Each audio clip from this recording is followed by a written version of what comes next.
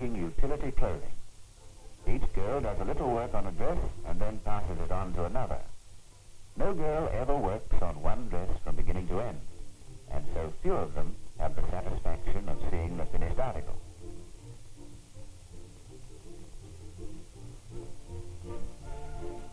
But at this factory, the shop stewards of the Tailors and Garment Workers Union are having a meeting. They have an idea to discuss. Why not let the workers have a proper look at the finished dresses? Why not stage a mannequin parade, specially for the workers?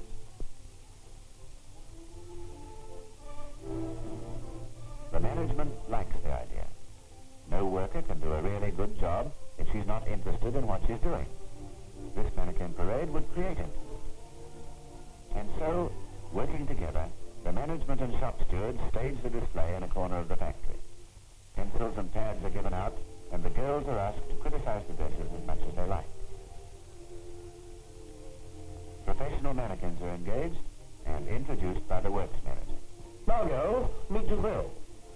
Giselle is wearing a mustard-colored walking-out dress and soft wool with sunray pleating effect on the front of the skirt. Do you like it? Note the contrasting negative effect. Was the work you put into that neckline worth the labor? Let's hear your opinion about it. And here's Hilda. Her dress has an effective waistband and unusual pockets in the front of the skirt. It's a simple frock to produce, and you machinists, please remember that it is easy on workers who have to press it. When you're making your criticisms, remember that point, please.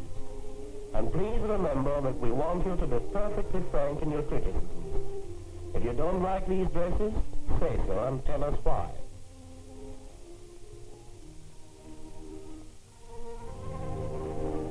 Now here is Elizabeth wearing what we consider a most effective combination frock with dolman sleeves. Is it graceful or not? Note the plastic beading effect on the bodice. Do you like that? Perhaps you think that black band on the sleeves destroys the effect. Or does it add to it?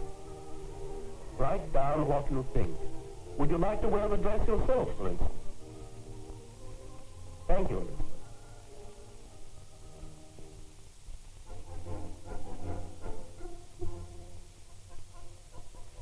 Wearing a soft powder blue dress, which we are very, very proud of.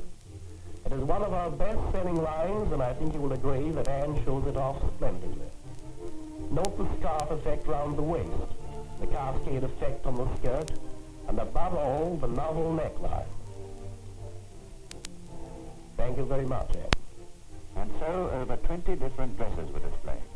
The girls got great satisfaction out of seeing how the finished dresses looked, they went back to their work with a fresh interest in their job.